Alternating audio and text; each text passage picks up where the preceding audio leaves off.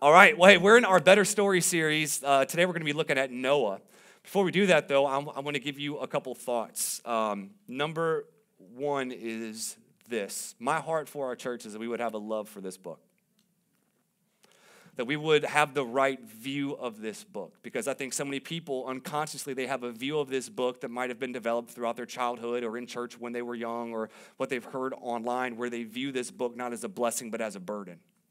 They view it as a as an encyclopedia or you view it as, as a book that just has information about God or you view it as a, as a book of just like laws or you know and, and yes there's part of the book that tells us what is right and what is wrong. There is information is this there there is history in it but ultimately the Bible is about revelation. Everyone say revelation. Bible is about revelation. It's not just information. Revelation is where God reveals who he is and what he is like to us. But one of the things that I love about the Bible as well is that you realize that as you read the Bible, the Bible didn't just happen, the Bible happens. Right? You realize that as you're reading this book, you actually realize that you just, it's not just this story, but you find your story in this story. And that's why you can see of, of we think we're so advanced in our world and we've just advanced so much throughout the years, but what you realize is not a lot has changed just, tech, just technology, right? Humanity hasn't. That when you look in Scripture, you can actually see there, there's a lot more going on um, that is happening right now. And so my, my heart, so what, so what I actually wanted to do was actually read a portion of scripture from the book of Psalms where we see David talking about God's word that I just wanted to share real quick before we dive into the meat and, the meat and potatoes. How many know it's Father's Day? Meat and potatoes, baby. Come on. I know about you, man. Steak and potatoes big ribeye. Come on, Jesus. Um, but just before we dive into the meat and potatoes of today's message, I just want to share with you what I, I, don't know, just like what I feel like my heart is the way that you would see God's words being in your life. This is Psalm 19, 7 through 11. This is what David writes. He says, The instructions of the Lord are perfect, reviving the, reviving the soul. The decrees of the Lord are trustworthy, making wise the simple. The commandments of the Lord are right, bringing what? Joy to the heart. The commands of the Lord are clear, giving insight for living. Anyone need insight? Reverence for the Lord is pure, lasting forever. The laws of the Lord are true, each one is fair. They are more desirable than gold, even the finest gold. They are sweeter than honey, even honey from the comb. They are a warning to your servant, and there's a great reward for those who obey them. Do y'all hear the, term, the terminology here? Like his, like his word revives our soul. His word brings wisdom where there is folly. The word of God helps us to have insight for living. It's fair. It makes us wise. It is, it says it's more valuable than gold, sweeter than honey. My heart is that as we come, you know, not corporately as a church, but even each person individually in their times with the Lord, when we come to the word, that we know that we're coming to a treasure chest that's full of so many riches and wisdom and truth to revive our soul, to bring joy to our hearts. And so, my prayer is that when we dive into this book individually and corporately, that there would be this expectation of, I'm going to have joy. It's going to revive my heart. It's going to make me wise. It's going to give me insight. It's going to be good for my, for my soul. Amen. So, we've been in a series called Better Stories, looking at people in the Bible who lived and modeled the better way, which is our theme for 2024. And today we're going to look at Noah. Everyone say Noah. Noah's kind of the crazy boat builder, right? It's kind of how we know Noah. He's the dude that was crazy enough to build a boat when it hadn't rained yet. And so Noah kind of can get this, you know, this crazy guy with the with the beard, crazy enough to take his family on this adventure of building a boat. And there's no doubt that he is the boat builder, but you also have to understand Noah is in the Old Testament, in the book of Genesis at, at the beginning, but you also find he's also mentioned in the Bible multiple times, most notably by Jesus Christ. Okay? So here, here's the thing, right? When you look at the Old Testament of Scripture, you have to make sure you view it from the lens, not of what culture does, but of the way Jesus did it. Some of the things we look in the Old Testament, Noah and Jonah, Abraham, like all of these characters in the Old Testament, David, we can look at them and be like, well, that was just history. When, when, when, when you actually look at it, Jesus mentioned them by name and actually used them for teaching points in his ministry, which is what we actually see from Noah. In Matthew chapter 24, Jesus is speaking about the end times. So Jesus is saying, Let me tell you what it will be like in the end times before I come back. Let's go ahead and jump in here. Matthew 24, verse 36 through 39. It says, But about that day, and he's talking about the day that he'll come back for the second coming, no one knows the hour, not even the angels in heaven, nor the Son, but only the Father. Can I just pause right there and be like, why are we trying to guess when Jesus comes back? Right? How many books have been sold like, you know, trying to scare people from the tribulation, right? And we can have this like I you know I remember seeing books like in 1988 a guy wrote a book called 88 Reasons Why Jesus is Coming Back in 1988. Oops, saith God. Then in, when he didn't come back in 1988, he wrote a book called 89 Reasons Why Jesus is Coming Back in 1989. He stopped writing them after that one. But it's crazy how we can spend so much energy trying to figure out when he's going to come back. When Jesus said, only, only my Father knows, we don't spend time preparing ourselves for when he comes back. And this is why it's so important. We focus on what we can control and let what's God's like prerogative, let him deal with it, right? It's so comforting to let God do what he's paid to do, be in control and in charge. And you do what you're called to do, which, which is to live as he's called us to live and in obedience. But then you see it this it's it says this as it was in the days of who? Noah. So it will be at the coming of the Son of Man. For in the days before the flood, people were eating and drinking, marrying and giving in marriage, up to the day Noah entered the ark, and they knew nothing about what would happen until the flood came and took them all away. This is how it will be at the coming of the Son of Man. So, what Jesus is referring to, he is saying that in the last days, it will be similar to the days of Noah, which we're going to look at what those days of Noah were. But we see Noah here, not just as, as a person, but even this, the age that he grew up in and the age of what he did, what he did. Jesus is saying there are some similarities between then and similarities between the age we're living in now. In Hebrews 11 7, we see Noah brought up as being in the hall of faith, as being someone that is a model for us to follow. This is what it says By faith, Noah, when warned about things not yet seen, and that was called rain, right? Like he had been building a boat when he had never seen rain it says, in holy fear, built an ark to save his family. By his faith, he condemned the world and became an heir of the righteousness that is in keeping with faith. So we see that, yes, Noah was the boat builder guy. He built the ark and saved, and saved his family, but also the times Noah lived in teaches us, but also Noah's example teaches us. And some of the times that were surrounding Noah, in the book of Genesis, you can actually see. Let me give you a quick synopsis of Genesis leading up to the time that Noah uh, we see Noah's account um, done in, in, in Genesis 6. In Genesis chapter 1 and 2, we see that God created the world and he set in place order and set in place divine, um, divine order in how things are called to be, right? So you see him creating the world, making man and woman in his own image. You've got these binaries. You have got the sun, the moon, darkness and light, the earth and sea. So you've, you've got, because here's the thing, right? God is a God of order. Okay? God is not a God of chaos, He's a God of order. So we see God creating, and so in the first two, two chapters, we see God creating, making, and bringing, and bringing order and bringing beauty. And we actually see the character of God whenever, it, whenever God creates something, He says, It was what? Good. Can't you just see God making something be like, yo, that's good? Yeah. That's what men do, right? We, well, I don't make anything. I'm like the worst builder of anything, but you know, like it's it's it's good. But then we see in Genesis 3 that that's when sin came in.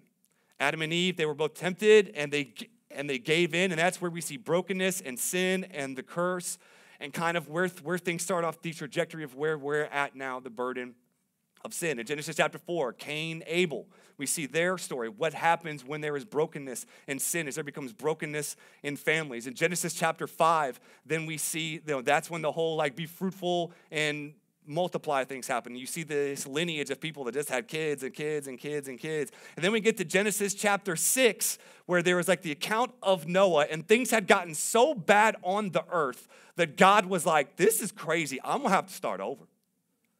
These people have gotten so buck wild and crazy, and there's so much wickedness and so much craziness going on because they've gotten out of divine order. I don't, I, you know, even what scripture says is my spirit cannot contend with man forever. And he says, I'm gonna have to bring some judgment. And so he calls Noah in Genesis 6. But before we dive into, like I said, the meat and potatoes of kind of Noah's story, I want to dive into a couple things. Since it's Father's Day, can we just give it up for all the dads one, one more time? And really, today, I'm going to lean towards the men with this message. So, ladies, you, you go and get something too, okay? But I really today want to specifically speak to the men in this place. Um, and what I pray, what I hope you hear, men, is not condemnation, shame, and guilt and putting you down. What I hope you hear is that God has his hand saying, come up to something better. Because even what I think happens many times with men in church, I think inherently men struggle. Like, I think inherently men, we have this proclivity to look at what we're not and what we lack instead of who God says we are. I just think it's inerrant. Like, it's, it's, it's something that we just struggle with. So, many times what happens is men they come into church and all they hear and you know is kind of like you're horrible you're terrible you need to follow jesus. Right? But what i see in scripture is that like where man actually starts is it says that they're made in the image of god. Right? Yes it has been skewed through sin there is no doubt but i believe that what the heart of where God wants to call men from isn't to start with shame and guilt and condemnation. It wants to start with this is who you were. I, I originally created and made you to be my image. Right? And that's what, what we can actually see. So let's look at Genesis chapter 2 really quick. And I want to show you kind of what we see from creation order, God's idea and heart for men. There's a lot different way God forms a man and how culture forms a man. Okay? The way God forms a man is a lot different than the way culture, and we're going to actually see this. So, what we actually see first in Genesis chapter 2, verse 7, is that we are created and made and formed in God's image. Men, let me just remind you, like I said, and encourage you with that. You are made in the image of God. So, you have dignity and value and worth and, sig- and significance. And this is before you've done, you've done or will do a thing. Why is this such good news? Because in our culture, our culture says, men, you have to accomplish, then you have an identity. Accomplish something good enough, and then you can be worthy enough. And let me tell you, that is not the way God starts. God says, because you are stamped with my image, you have worth and value. And from that, you then strive to be what I've called you to be. But let me tell you what, what, what happens many times. Men is you will be told in our culture to seek your identity and build your, build your own life and build your own identity. Or you'll be told, look inside of this good little self you have and you'll find yourself. And then from finding yourself, you'll make yourself. And can, can I just say, this is a huge reason why I think we have so much worry, anxiety, and depression in our culture? Is we are trying to build and make something we were inherently created to receive. How many people feel the burden of having to create their lives? Make their identity, make them valuable. Do you know how much of a weight that is? When that is a weight and burden you were never meant to carry. Why? Because as humans, especially men, women, like we were called to receive our identity from God. So what I say is instead of looking out to find an identity, instead of looking inside to create, we don't we don't look out, we don't look in. What do we do? We look up. And we receive it from him. See, we're created and formed in God's image. And this is such good news. Secondly, though, we see in the created order, after he created and formed him, what did God do? He gave the man a J O B. He gave him a job. He's, he said, Hey, I made this garden and I want to put you in the garden to work it. And really, what God, he just wasn't giving him a job, he was giving him partnership. So we actually see work is not a curse because this was before sin. Work is actually a blessing. Work is actually something that God is for. So some of y'all like, man, I'm, I'm gonna get to heaven, I'm gonna get in my mansion, and I'm gonna be chilling. God might give you a job. Why? Because work is not cursed. Work doesn't have to be cursed. Work is actually a blessing. But ultimately, see, because here's the thing God created the garden, and then God said, manage and steward what I've created. Men, you're gonna have to be very careful about wanting to be creator and steward and manager. You're gonna have to know your place. Because some of you, you're going to be really successful, and what it's going to actually do is it's going to well up pride in your heart. I've made this, I've created this. It's my smarts, it's, it's my wisdom, it's my work ethic that has made this, and what the Lord is going to have to remind you of, and some of you might need even to be reminded of, of today, is that you are simply called to be a manager and a steward of what God gives you. Because if you try to be this, if you try to be the owner, this is where Christians get it mixed up, right? Is we want to be the owner instead of the manager. Nowhere in Scripture does, does it say Christians own anything. We're a manager and steward of all things. But we see this in the created order is that God made and put man in his place of being under God but over creation. Did you hear did you hear that? As men, we're called to be under God, submitted to him over creation, right? So he gave him he gave him his image, he gave him value and worth, and then he gave him a job and partnership. Thirdly, he then gave them, he gave man boundaries. Men hate boundaries, right? Because what men are like is, I don't want no one telling me what to do. Amen. Men can be like, I don't want no one telling me what to do. I do what I want to do. And what you'll find, right, is men will want this and they'll be like, I do what I want to do, right? And you see this many times with college students. They'll leave the house, they'll want freedom from the home, they'll go to college, and then they'll be completely bound by addiction. They'll be smoking stuff they can't stop smoking, drinking stuff they shouldn't be drinking, sleeping with people they shouldn't be sleeping with. So, in their desire for freedom from boundaries, they've actually created more boundaries for themselves. This is why you have to be careful of saying, I don't want no one over me. I don't want to submit to any authority. Why? Because I'm my own God. Okay, well, if you are your own God, the weight of your life is on you. One of the blessings of submitting to God is that you can give Him the weight of your life. But also, as you submit to Him, what God in His love and what in His grace will give you are boundaries. Have you ever seen a kid with no boundaries? I got three boys. I call them the Ware Hurricane. They destroy. They are destroyers. When they don't have boundaries, but y'all, many men, many people destroy their lives because they don't want bound, boundaries, thinking, I'm going to be free, but they actually become bound by the things they want freedom from, freedom to do. Every, every, is everyone okay? Happy Father's Day. Um, like I said, I want to invite you into something better. Number four, after he gave him a, after he gave him boundaries, he gave him a wife. So he said, I'm going to give you worth. I'm going to make you in my image. I'm going to give you a job. I'm going to give you boundaries. Then I'm going to give you a wife. Did not say he gave him a side chick.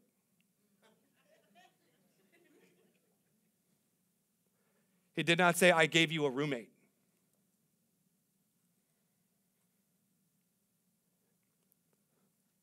He didn't uh, say, hey, I, I gave you someone to have sex with. Said, I gave you what? A wife oneness. He said, Man shall leave his family, woman shall leave his family, and they shall become how many flesh? What? One flesh. Shall become one flesh. And after he gave him a wife, he, he then he was like, hey, the participate in what happens after you get a wife. You be fruitful and multiply. That's sex and children. Now, I want you to take God's order here and equate it to our cultural moment. Because if this is a ladder of what we see image from God, he has a job, he has boundaries, he has a wife, and then sex and children. Doesn't it seem like in our culture the ladder is turned upside down? I'm going to say a few things. This is not shame, guilt, and condemnation. This is just, just called, I want us to feel the weight of the pressure we're in in our culture. What you're hearing is okay. What you're hearing is just like it's normal. It's what the culture does, is what we do. And this is not shame, guilt, con- condemnation. This is inviting you into something better. This is for some of you breaking generational curses. This is for some of you aligning you with truth. This is no whatever towards, and this is just me sharing, right? And so, because what you see is men will want sex before they want a wife.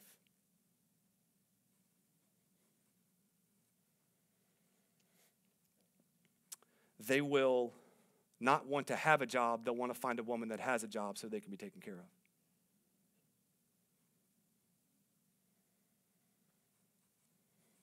Now, I'm not saying, you know, I'm not saying ladies shouldn't work, you shouldn't make money. This is not toxic masculinity. This is this is not patriarchal hierarchy. This is not any of that stuff. This is this is called ladies. Whenever you see see see here's here's the thing. Uh, first off, let me say this. I got a lot to say today, ladies. This should be the kind of man you're looking for.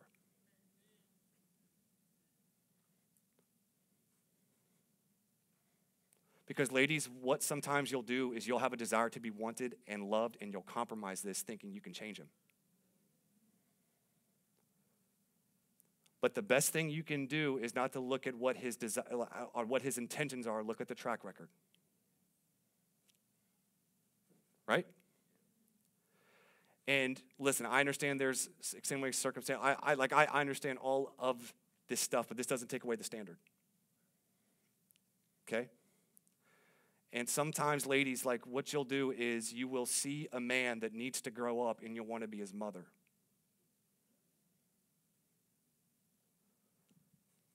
Instead of saying, you know what, maybe I need to entrust him to the Lord. Maybe if I do find him attractive and I see some qualities, I can encourage him to get into a church, get into a good men's ministry, get him around some good men, and let's see what happens, right? Like I'm because, ladies, let me tell you this the price you'll pay for getting into a relationship is it's not worth feeling loved and like not feeling wanted. Like, if, if, you know, and look, I know men in church can be hard to find. Unfortunately, the church can be a place where there's not a good crop to pick from. But we're trying to change that at Lifehouse. We want to call the men higher. We want them to take responsibility. We want them to want to work, to be, be accepting of boundaries, to say, I just don't want a girlfriend or a side chick. I want, want a wife. I want to put a ring on that thing. And I want to go in the right order where I don't go to a woman saying, fulfill my needs, and then you might be good enough to be my wife.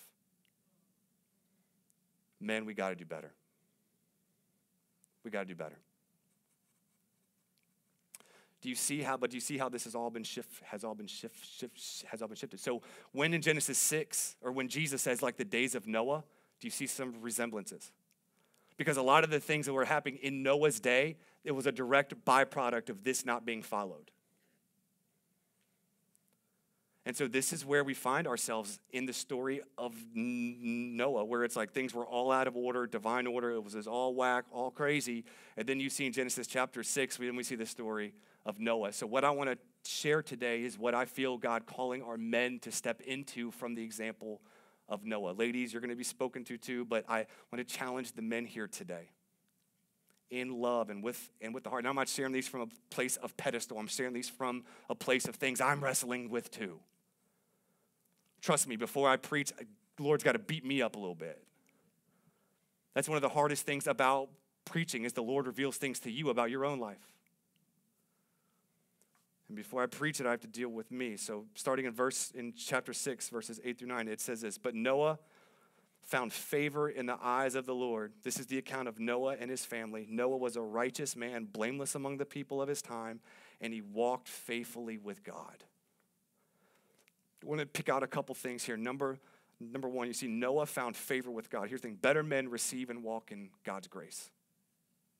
I shared this a couple weeks back that when God graced Mary, the mother of Jesus, it, it, says that she found favor with God. That does not mean she was better than everyone else. It means that God specifically chose her and graced her for an assignment. So, what we see here, Noah, is that when the Lord was looking for somebody to for his plan to come through. It's not like Noah was better than everyone else. It says that Noah was favored. In other words, graced by God for an assignment. And then it says that, then he says, after he was graced, then he began to live righteously. Y'all, this is what the epitome of the gospel is. It's not do good and then you're graced, it's you're graced. And then from that grace, you walk out and live and do what God's called you to do. This is the gospel. The gospel of Jesus Christ is not do more good things and then you become good. The gospel of Jesus Christ is the Lord, because of what Jesus did on the cross, makes you good. He gives you goodness. That's why it says, For it is by grace you have been saved through faith. And this is not of yourselves. This is the what? Gift of God. And that is what we see in, in, in this story is that Noah was graced and then began to walk in righteousness. And y'all, some of you have been fed gospels, and even Paul references false gospels. He references, like, he went to a church that, that he planted in Galatia, and he says, Who has bewitched you to believe a gospel differently than the gospel I preached to you? Because they were wanting to add to following Jesus laws and saying, well, to be a Christian, you have to do this and this. You got to accept Jesus and do this. And Paul was like, this is not the gospel. The gospel is Jesus plus nothing equals everything. Now, Jesus plus good works or good works and then good this, he's, no, it's the good news is that we have been graced. For it's by grace you have been saved through faith on yourself. It's a gift of God. And then because we've been graced, then we start to live and follow. Y'all, this is such good news because our culture will say, do good, then you achieve. The gospel is you receive and then you walk out and live up to who God has already said you are. Isn't this good news? And this is what God offers to us and offers to you and that we see in Noah's life. Is he was a man, here's the here's the thing, better men are God-made, not self-made. Because what will happen in our culture is you will do, you will build, and then you'll think you're the builder. You will build and then you think, I deserve this. When what, when what we see Noah is like Noah received grace and then walked in grace. Noah didn't create the grace and then walk in it, he received it. And as men, we have to be reminded that it's God that makes a man. And as much as we want to say that we're self made, as much as we want to say we've built ourselves, pulled ourselves up from our own bootstraps, as men, there is a humility that comes with being a man of God that understands our place. Secondly, we see here from the few verses here that better men walk faithfully with God. It was said about Noah that he was graced, he was favored, he walked, or, or he was a preacher of righteousness, but then it says he walked faithfully with God. Better men walk faithfully with God. Do you know, men, God doesn't want you perfect, God wants you faithful. So many men carry the weight of perfection on their life. And I even believe today the Lord is going to break some of you of perfectionism that is keeping you from stepping into the love of the Father. Maybe because you had a dad, you messed anything up, it was condemnation. You messed anything up, you're an idiot. Why are you so stupid? And what has you've, you've sub, sub, subconsciously done is you've equated God's voice with your earthly father's voice. And what I believe that the Lord wants to do today is He wants to release you from that to where you're able to decipher what your earthly father's voice is and what your heavenly father's voice is. Walking faithfully with God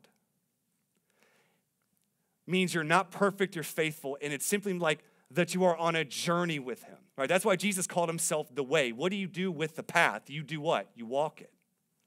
Right? And when it comes to your walk with Jesus, that is what you're ultimately called to do is to walk with God faithfully. How many of you you got kids and you take walks? One of the favorite things I do as a dad is to go on walks with my boys.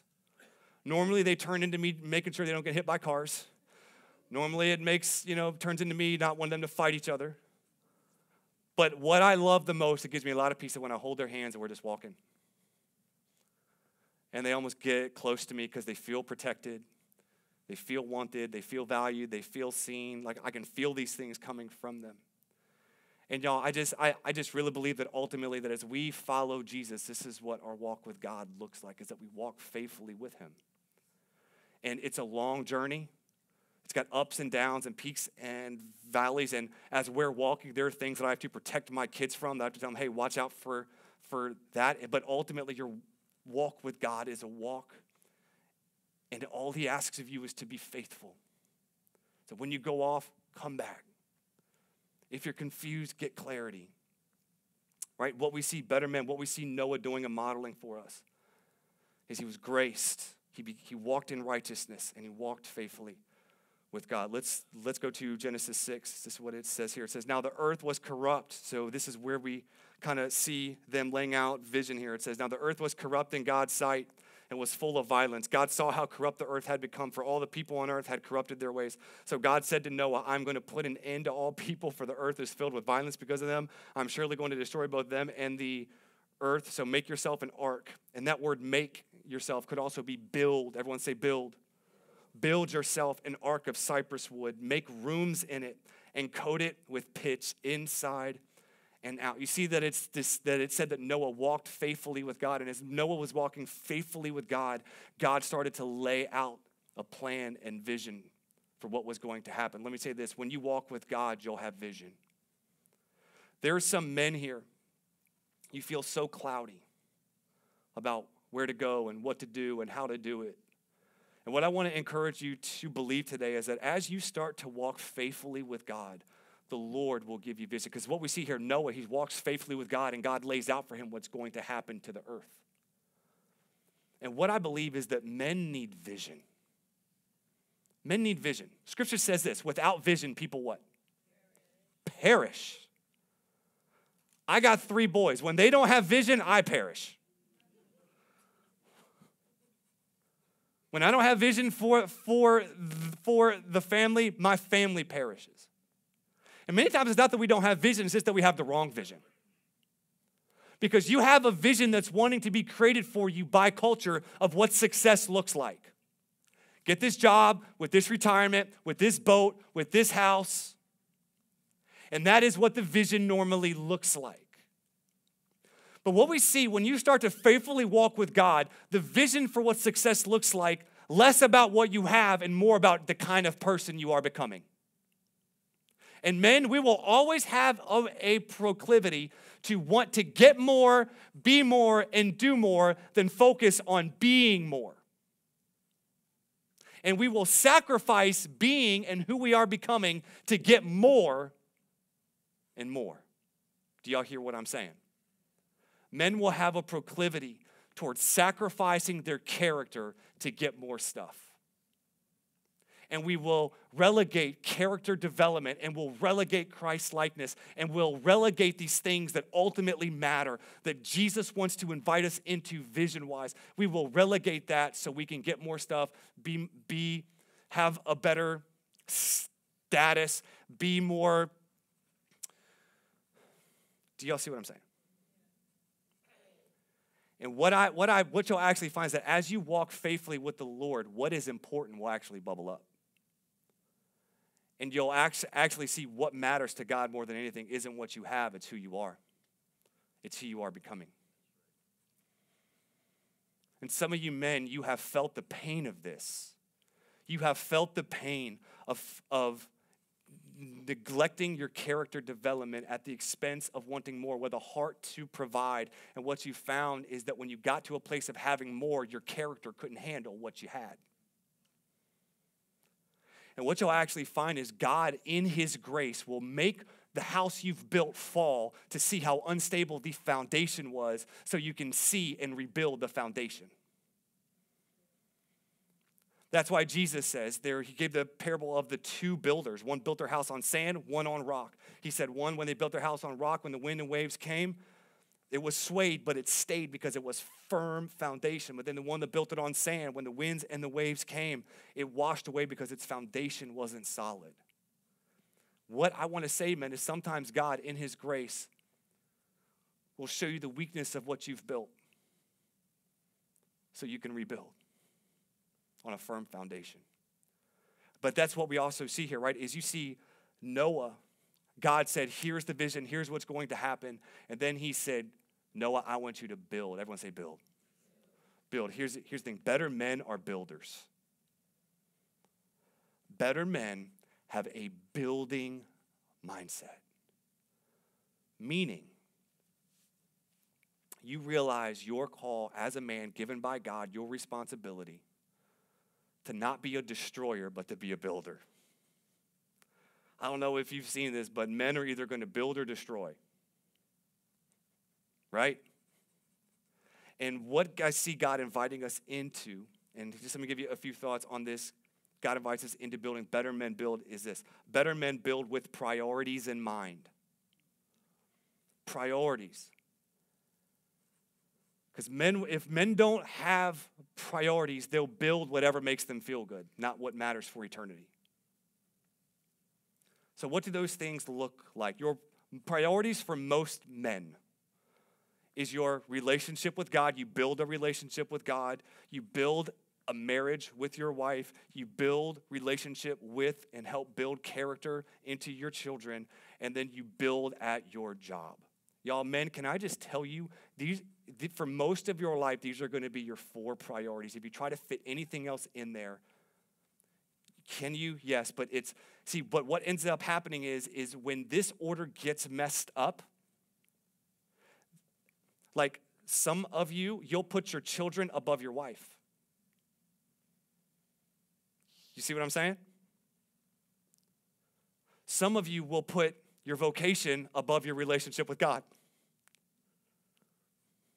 Some of you will put your hobbies above your vocation. Everyone, everyone don't okay. You guys are quiet today, so I don't, I don't know how, I don't, I, I don't know how to read y'all. Okay, good. All right, all right, all right.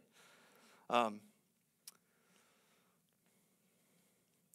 and when when men don't build with these God-given priorities in mind, is we will get all out of whack. Because ultimately, God's called you to build your relationship with Him first. And as you build your relationship with Him, that gives you the fuel to love your wife the way Christ loved the church. And then that will enable you to multiply yourself in your children. So you're not just available to your children, you're being intentional in helping them become like Jesus. And then as you build your relationship with God, then that will be the fuel to go to your job. And not and yes, you have bosses, but realize God's the ultimate boss. I'm just not here for a paycheck, I'm here for an eternal purpose. And what, what I have found and what I, I believe today to, to encourage you with is Jesus in Scripture is called the chief cornerstone of the church. Meaning, the foundation of the church is Jesus. Meaning, guess what you get to do being the foundation? You know what the foundation does? How many of y'all, like, glamour at the foundation of houses. Like, ooh, looky here. Looky at that foundation. Isn't she pretty? No, many times being the foundation is anything but glorious. Many times people don't go and celebrate a foundation. Many people don't go and be like, I want to be a foundation. But guess what bears all the weight? The foundation. And what I felt the Lord um, encouraging me to tell the men in this place is that as Jesus was called to be the cornerstone of the church, you're called to be the cornerstone of the family. You're called to be the foundation of the family. Yes, with Jesus as your foundation. But ultimately, when Jesus created the man first, it wasn't because the man was better, he was saying, Man, you will have the responsibility. When Adam, when Eve sinned, who did God call for? Adam, where are you? Why? Because he was ultimately what? Responsible. Men, let me just throw some weight on you in love. You are responsible. In the same way, Jesus, it says in Ephesians 5, men love your wives as Christ loved the church and did what? Gave himself up for it. That is what ultimately being the foundation looks like. So, men, as you are called to be the foundation of your family, that will inevitably mean you are going to feel a junk load of weight. Amen? Men, do you feel it? God and children and wife and vocation. And what I feel like the Lord wants to encourage you with today is know if you feel the weight, you're right where you need to be. Yeah, come on. Let's give it up for the men in our lives who bear that weight. If you feel the weight, that's the blessing that God wants you to have because you're created to bear weight.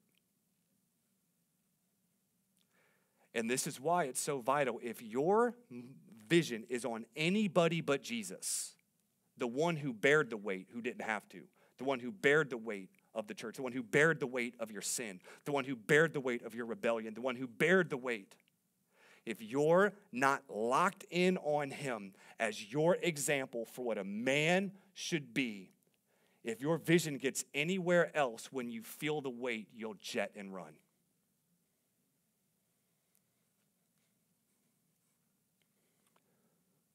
And here's what you'll do you'll start to blame. You'll start to complain. And listen, I'm not saying you might need places to be able to share and process. But at the same, same time, if, if you are not locked in on Jesus as the example of what a man is that leads his family, that leads his wife, that leads his children, then when the weight gets to be heavy, you will run and blame and get away from the weight that God's called you to bear. And you'll think you're going to something better when actually what you're doing is, is you're running from the responsibility and gift that God's given you as a man. Are y'all hearing me today? Men, the Lord is inviting you to bear weight. It's sad in our culture that we see men running from responsibility like it's the plague. Ah, marriage? No, I'm gonna get married when I'm 40, maybe but I'm gonna have a bunch of girlfriends and do what I wanna do until, and then once I settle down, then I'll get right. No, you won't. You developed a pattern. You can by God's grace, but it's gonna be hard. Kids, following God with boundaries? No. Do y'all see what I'm saying? Men, the Lord has called you to bear weight. And if there is any, if there are things wrong, what we don't do as men is blame. We say, where do we need to die more?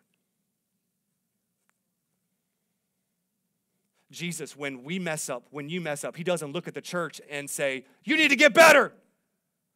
No, Jesus says, I died for this. This is very encouraging on Father's Day, isn't it? but what I'm hoping you hear today, men, is God's called you to something better. I didn't say easier, I said better. Ladies, as you're evaluating what if you're single, what you need to be looking for, you need to look for a man that can bear some weight. And doesn't look at responsibility as a plague, but is ready to say, I'm ready to step into what God has gifted and called me to do.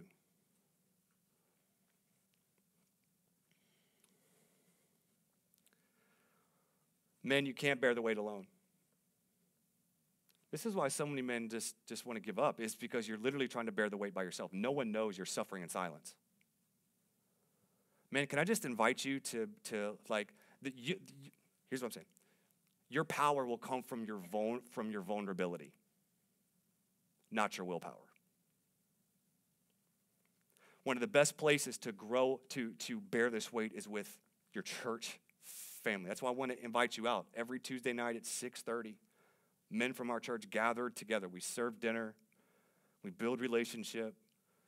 We study the Bible.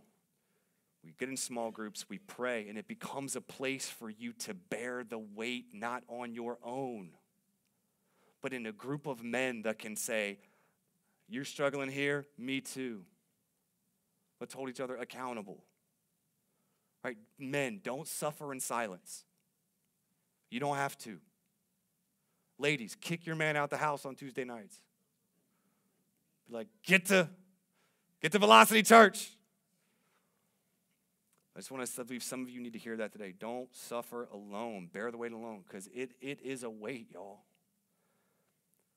But it's a God given one that He wants you to see with joy because it's what you were made to bear. As Jesus did. Okay, number Second thought better men build with legacy in mind. Men, let me tell you this. Or let me just say this like many men are more concerned with having a good time than leaving a great legacy. You see what I'm saying? Many men will mess around for years and then want to settle down. Can I just tell you, men, listen. What do you want said about you at your funeral? What do you want your kids to say? What do you want your wife to say? You should think about the top three things you want said about you at your funeral and let those be your priorities with them. One of the things is, I want my kids to say, they helped me know God. You know what I hope my kids say at me when, I'm, when they're at my funeral? My dad prayed for me every night. My, my dad taught me the Bible. My dad took me to church and helped me build a firm foundation that when the craziness of life happened, I was secure. I want them to know that I wasn't just available, I was intentional. There's a difference between being present and intentional. Dads, we can be present. Being present is important, that's a huge gift. But be intentional. Legacy mindset, because here's the thing you're going to leave a legacy. What kind will you leave? Some of you are struggling right now because of the legacy you were handed. You know what I'm saying? And what I believe the Lord is inviting our men to do is to give legacy of blessings, not burden. Is to think, do I want the cycle to continue with me or do I want it to stop with me? And the Lord is calling some of you to be cycle breakers. Where the cycle of insanity, the cycle of alcoholism, the cycle of absentee father, the cycle of not getting married or kids out of wedlock, the cycle of all of these things that have been generational things in your family. With you, it's going to be like, not this generation.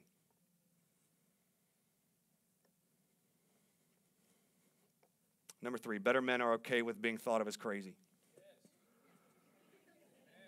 Who's that? My man Christian.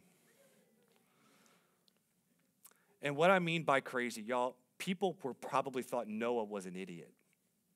This dude building an ark? For rain? What the heck is rain? That's dumb. But what did he have? He had vision. He had a call from God. So he was like, I'm going to build. And, and even one of the things that said about Noah, he was a preacher of righteousness. So he was probably, probably, probably like letting people know, hey guys, let's let them know I'm building this boat because one day it's going to rain and, uh, you know. And they're like, ha, ha, ha, ha, whatever, you know. But just know, men, as, as you build God's way, you'll be thought of as crazy when you prioritize your relationship with God, as you prioritize the things of God, as you prioritize your family attending church, reading the Bible together, like when you prioritize these things, you'll you'll actually see that men might publicly abuse you but secretly admire you. And when crap hits the fan in their life, guess where they're going to head? To the one that's got a firm foundation. Fourthly, better men encourage other men to build what matters. Like I said, Noah was a preacher of righteousness. He probably said, "Hey, come on, like I, like I'm, you know, I'm building this boat. You should come and help me build. Well, I've never built it before. You know, like, and and men, other men around you need to hear encouragement. Can I just talk to you about how important encouragement is to men? Ladies, can I just tell you how important encouragement is to your man? There's such power in encouragement. Because men, like I said, inevitably we are always looking at what we're not and what we're not doing. And when we hear our, our spouse look at us and say, Babe, I see what you're doing. I, I see you're trying. Thank you for providing for us. Thank you for. Men, doesn't that make a difference? Got someone that agrees. There's something powerful that happens, ladies, when you see your man and you don't just in your mind say, Oh, that's cool. You verbalize it and say, babe, thank you for, thank you for, thank you for. There's power in that. And I know for some of you, like, like, and, and this is what I say, if you want to see any man change, so ladies, you might have a man and, you know, he needs some work, some areas. It bothered you a long time. Can I just encourage you, nagging won't change anything. And I say that with love. You need to see your husband the way that God sees us. God doesn't nag us. You might think it's nagging, but actually, the Holy Spirit just reminds us. And but one of the best ways is to actually encourage your husband to, to change is, is to actually find something he's doing that that is good. Might only be one thing. Babe, I love the way you cut the grass. Do I see this line on the grass when you weed eat? Man, that looked good. You know, like, and just encourage them. But then ask the Holy Spirit, Lord, how can I invite my husband? Like, how? Because some of you are like, here's the thing, right? Ladies, you want to bring change to your husband with, without the Holy Spirit. You're trying to do it, do it yourself. Invite the Holy Spirit and say, What should I say? How should I say it? When should I say it?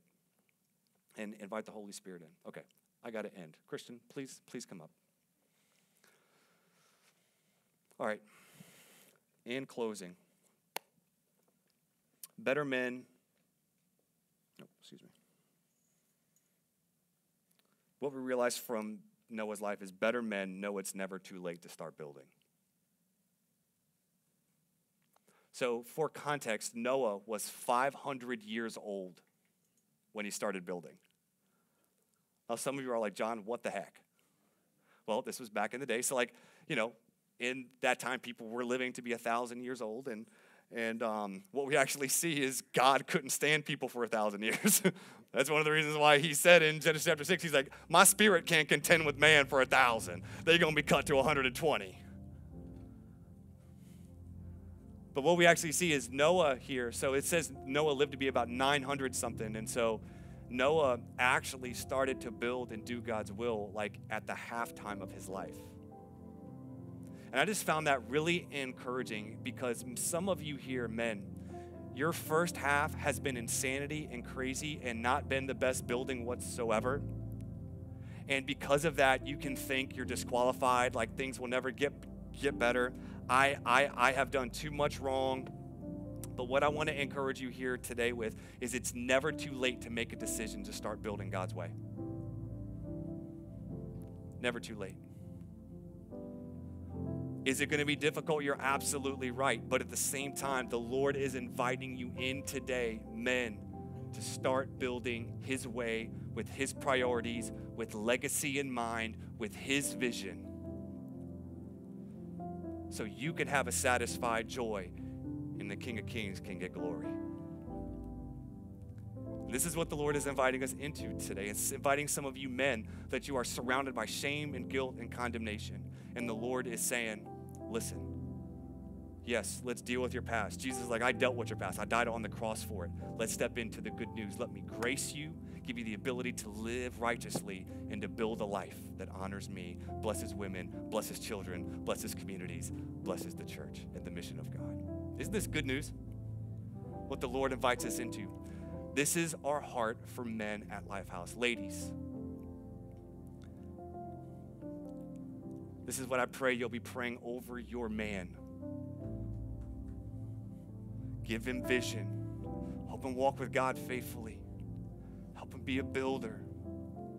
And then come alongside him. Right? One of the things scripture says, it wasn't good for man to be alone. Yo, I've been living this single life for nine days. Kristen's mom, she just had surgery. I've been single for nine days. It ain't good for man to be alone, bruh. But sometimes men can feel alone. And and and so I just want to encourage ladies, encourage your men. Honor them today. All right, can everyone stand? Really, what I felt led to do today. In closing,